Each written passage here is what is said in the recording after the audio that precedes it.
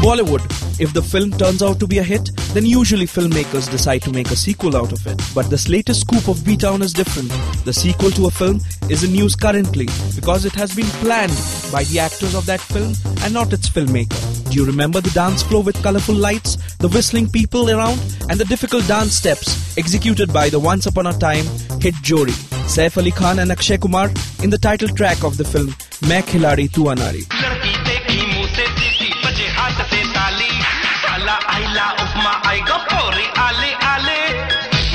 खिलाड़ी तू अनाड़ी मैं अनाड़ी तू खिलाड़ी It seems that Chote Nawab wants to go back to the days of his action thriller film once again.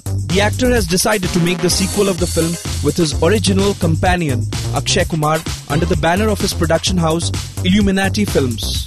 Well, we are sure this is a khush kabri for the fans of Khiladi and Anari. This is a report by Nikita Dalvi for Rajshri.com.